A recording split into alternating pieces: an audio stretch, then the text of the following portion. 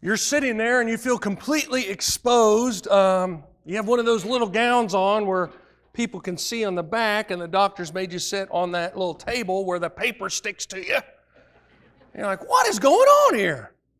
They've been running tests, and he wanted to check out a few things on his own, and he walks out of the room, and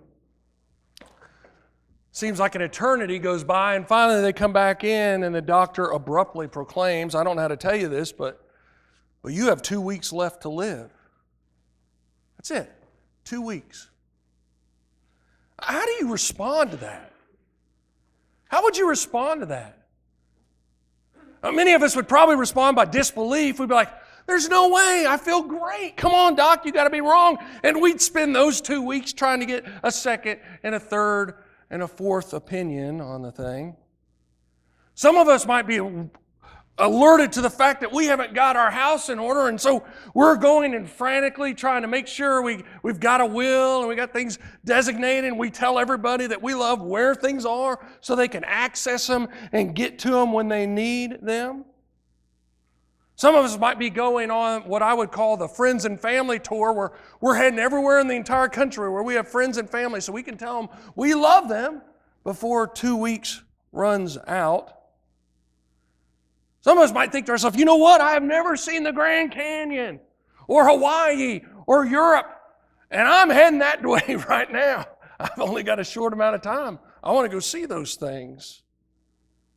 A few of us might be thinking, I've been trying to get in shape all these years. I'm going to go eat Cinnabon every single day. That is going to be my breakfast, lunch, and dinner. I'm going to go out with a bang.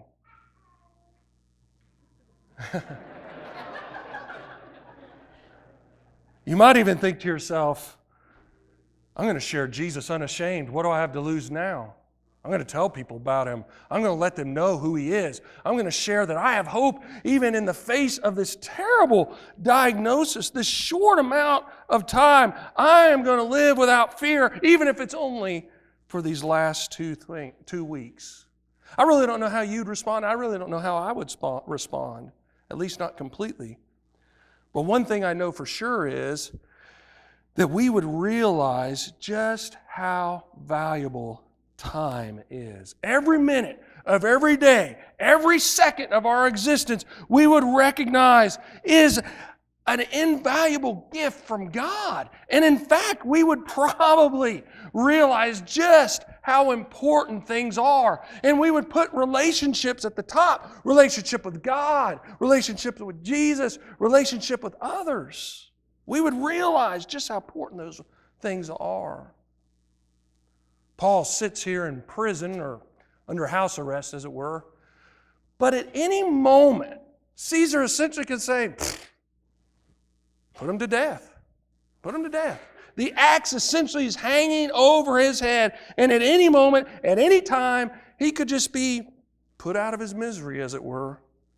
And Paul's response to that is to say, to live as Christ and to die as gain. To live as Christ and to die as gain. How many of us could say that? To live as Christ and to die as gain. The doctor comes in, to live as Christ to die. That's gain. Nina Hammond is the executive editor of the Southeast Outlook in Louisville, Kentucky. But in 1988, she worked on a, as a reporter on a small uh, newspaper in Lebanon, Kentucky.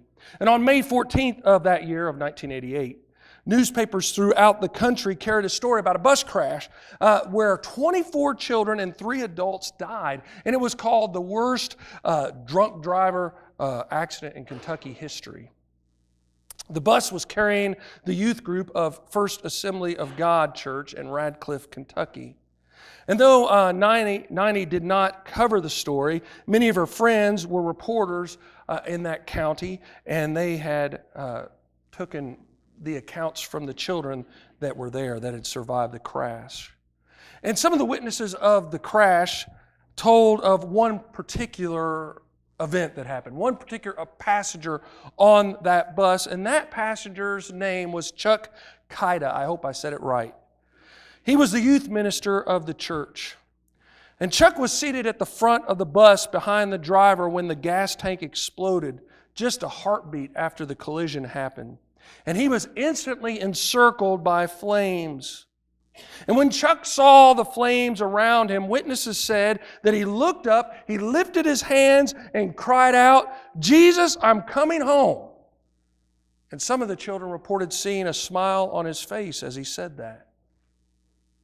And Nina wrote, I was not a Christian in 1988, so I couldn't make any sense of what Chuck did. Here's this guy so cool that a bunch of kids called him Banana, standing in flames moments before a horrible death, and he's smiling. And no matter how hard she tried, Nina could not erase from her uh, mind the image of Chuck. And she wrote, The only way to explain how a man could calmly accept, almost welcome, a painful death was to acknowledge that he understood something, some great truth that I didn't. That he had something, faith, hope, God maybe, but something that I didn't have. And try as I might, I couldn't help but yearn for whatever he had that made death a thing to embrace rather than a thing to fear. Two years later, Nina would come to Christ, and she says, Chuck Kytta planted a seed in me that took root in my heart. And one day I will see Chuck in heaven, and I'll tell him the manner of his death pointed me toward eternal life. The manner of his death pointed me to eternal life. There's something so powerful, so urgent, so exciting, so joyful in knowing that we can face death without fear. It is transformative to know that, that we can face death and not be even to one degree scared of what may come because of what Jesus has done in our lives. In 1 Thessalonians chapter 4 verse 13 and 14 it says this, "And now, dear brothers and sisters, we want you to know what will happen to the believers who have died, so that you will not grieve like the people who have no hope. For since we believe that Jesus died and was raised to life again, we also believe that when Jesus returns, God will bring back with him the believers who have died. I want you to understand that text tells you and me that we have this hope that passes by death. Death doesn't mean anything to us. In fact, it really just ushers us in to the very eternity in the presence of God that we all are looking for. That should promote in us a boldness and an urgency, an excitement and a joy as we live this life. So, how do we find this joy that even death cannot disrupt? Well, for that, I want to look at what Paul says in Philippians chapter 1. So, if you have a Bible, turn me to Philippians chapter 1. If not, it will also be on the screen. I want to read to you the entirety of verse 18, or at least the second half of verse 18 through verse 26. This is what it says. Yes, Paul says, yes, and I will rejoice, for I know that through your prayers and the help of the Spirit of Jesus Christ, that this will turn out for my deliverance. As it is my eager expectation and hope that I will not be at all ashamed, but that with full courage, now as always, Christ will be honored in my body, whether by life or by death. For to me, to live is Christ and to die is gain. If I am to live in the flesh, that means fruitful labor for me. Yet which shall I choose? I cannot tell. I am hard pressed between the two. My desire is to depart and be with Christ, for that is far better. But to remain in the flesh is more necessary on your account.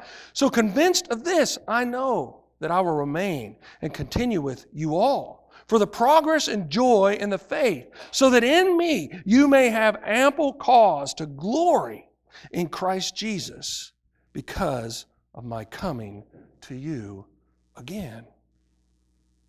We look at Paul's words here. And some of us might have to admit that we really don't have the same view of life and death. We look at Paul's words here, and we, we might have to admit to ourselves that, that we are more likely to cling to this life and be more worried about the next than we should be. Years ago, Christians were asked by Ray Comfort and Kirk Cameron, Are you going to heaven? Christians were asked, Are you going to heaven? And 80% of them answered in the same way. Does anyone know what their answer was? 80% of Christians, what was their answer? I hope so. I hope so. I hope so? That's your answer? Well, I hope so. Well, I know so, and you should know so. Paul knew so, and you should know so. You should know so. See, Paul shows no hesitancy here. He speaks with confidence. He proclaims to everyone who will listen I am in a win win situation. If I'm here serving the Lord, win. If I die and go to heaven, win. Win win situation. And all Christians should recognize that. Interestingly enough to me, he starts off with this, this passage and he ends this passage by proclaiming joy. He starts off, I rejoice, and he says, I'm hanging around for your joy. Joy. Joy. So, how do we get to that place? How can we smile in the face of death? How can we rejoice when life is fleeing or fleeting, I should say?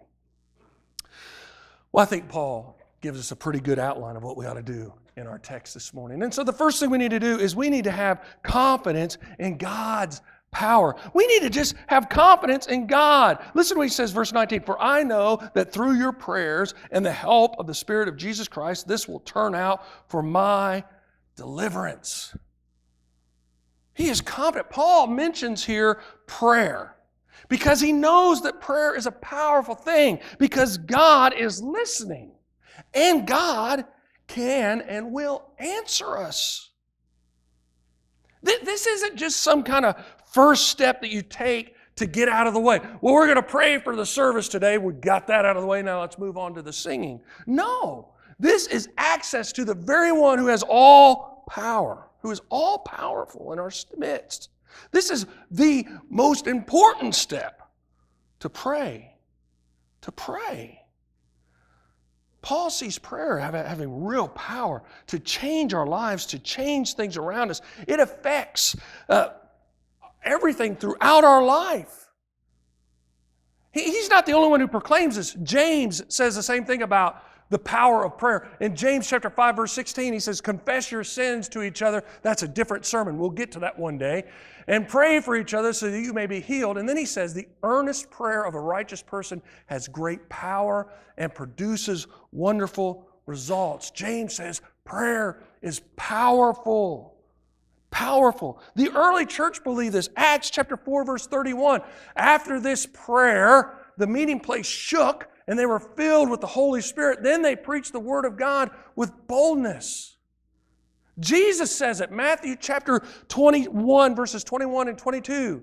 Truly I say to you, if you have faith to do, to do and not doubt, you will not only do what, we have been do, what has been done to the fig tree, but even if you say to this mountain, be taken up and thrown into the sea, it will happen.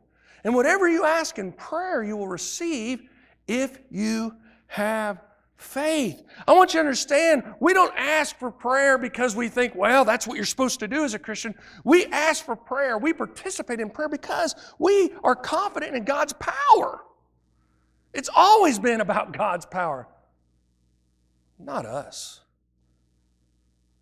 How often have we just turned prayer into a checked off item on a list?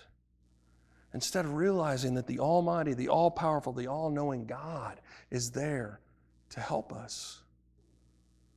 The Hebrew writer in Hebrews 4:16 says, "Let us then with confidence draw near to the throne of grace so that we so that we may receive mercy and find grace to help in time of need." In his book in Worry Less, Live More, or excuse me, the book Worry Less, Live More, Robert J. Morgan illustrates uh, the fact that many in society are very conscious of their anxiety. Did you know that Amazon keeps track of everything you highlight in an ebook? You buy an ebook in Amazon and you highlight anything in that book, they keep track of it. They know you've done it.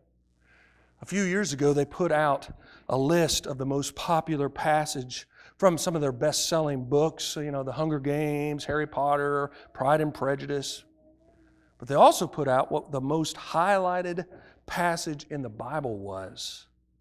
Now you might think you already know what it is. You might think, well, surely it was John 3 16, or, or surely it was someone highlighted Psalm 23, or maybe someone highlighted the Lord's Prayer, you know, the, the, the model prayer in Matthew chapter 6. It wasn't any of those. Instead, it was a passage out of our very letter today, Philippians chapter 4, verses 6 and 7. And Philippians chapter 4, verses 6 and 7 says this Do not be anxious about anything, but in every situation, by prayer and petition, with thanksgiving, present your request to God, and the peace of God, which transcends all understanding, will guard your hearts and your minds in Christ Jesus. I think that's so powerful. People understand that there are stressors in life, but you need to take those to God because He can provide peace, joy, power, healing, help, and all of those things. Paul was not afraid of death, and he wasn't afraid of what life might throw at him either because he was confident in the God's power. What about you and me? Are we confident in God's power? The doctor gives you bad news. Are you still confident in the Lord? North Korea builds a, a rocket that can bring a nuke all the way to our shores. Are you still confident in the Lord? The financial markets shake or the financial markets succeed. Are you confident in the Lord? Are you confident in the Lord? Your company's going to downsize. Some kind of natural disaster hits. Are you confident in the Lord?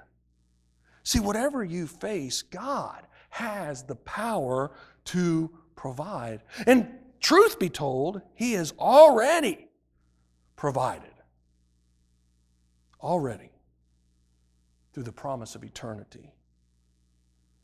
In fact, I remembered another prayer. I'm not going to read it to you today. I would encourage you to read it. It's found in Ephesians chapter 3. But in that prayer, Paul says that I pray that you would understand that God is able to do more than you could think up or dream up.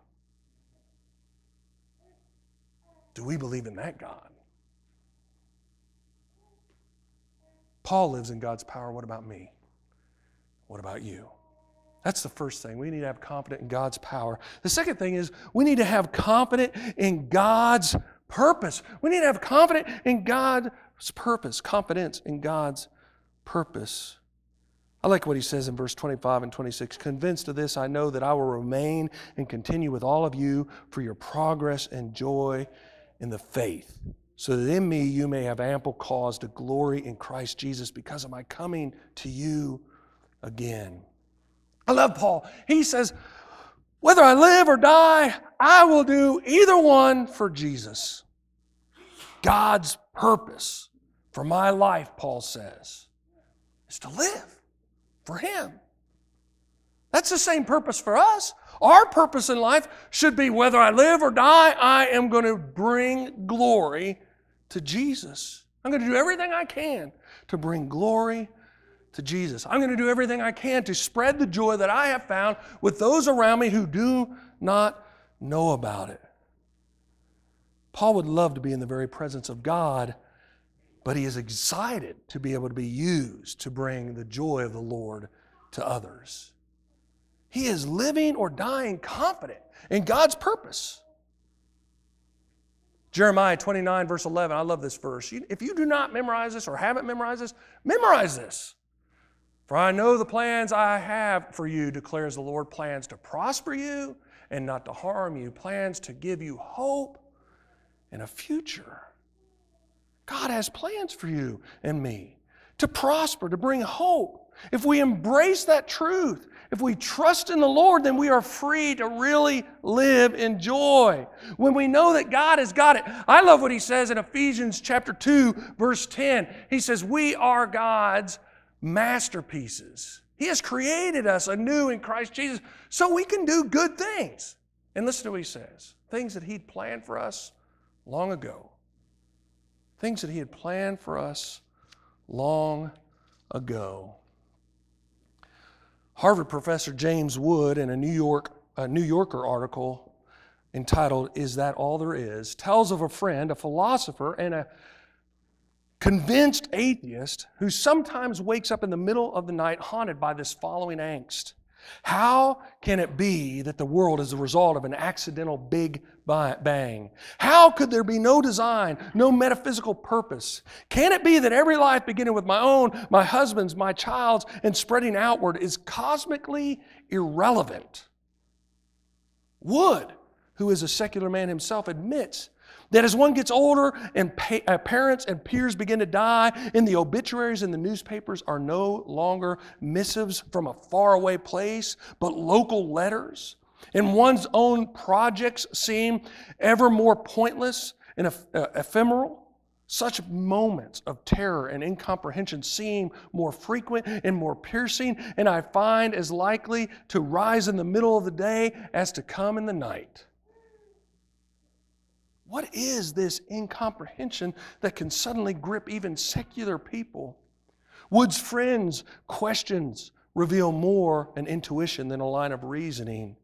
It is a sense that we are more, uh, that there is more in life. There's more than just this material world. In fact, Steve Jobs, when com- contemplating his own death, confessed that he felt like it's, er, that he felt this. He says, It's strange to think that you accumulate all this experience and it just goes away. So I really want to believe that something survives, that maybe your consciousness endures. It seemed to Jobs untrue to reality that for something as significant as human life itself, death should be an off switch that could merely click and you're gone. So many people live in that place. No purpose, no hope, no realization that, that God has a plan for our lives, and they're living in hopelessness. And they have this nagging feeling. They're yearning for something more. And we have that. And yet, so often, we live in hopelessness. And Paul says, You should live in confidence. You have that. You know God's plan for your life. We know there's so much more than just this. We know that God has given us purpose, but we don't often live like we know it. Instead of boldness and passion, instead of stepping out on faith and doing great things, we live in fear, paralyzed to attempt anything. Paul looks death in the face and he says, If you come, death, I win. And if you delay death, I still when. And we should say the same.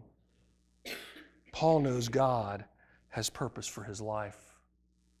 Do you understand that God has purpose for your life too? You're sitting there in that I see you gown. that, if anybody comes in there, they see you and the doctor gives you that news, you got two weeks to live, how are you going to respond?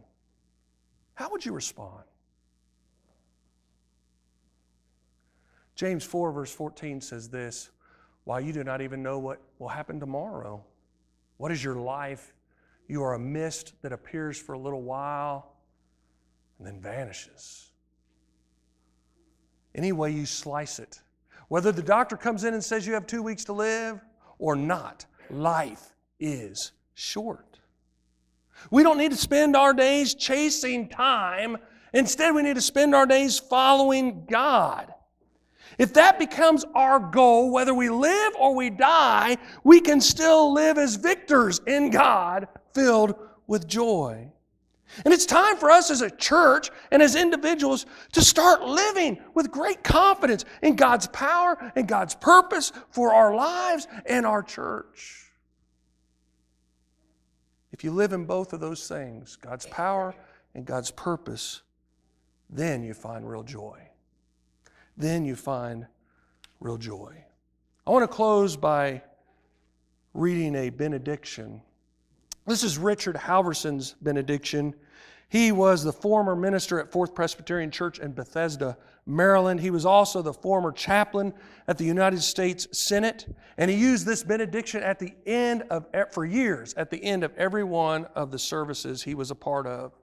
So I want to leave us with this benediction this morning, and this is what he said, and I think it's so powerful. He says, "Wherever you go, God is sending you." Wherever you are, God has put you there. God has a purpose in your being right where you are. Christ, who indwells you by the power of his Spirit, wants to do something in and through you. Believe this and go in grace. Go in his grace, his love, his power. In the name of the Father, Son, and the Holy Spirit.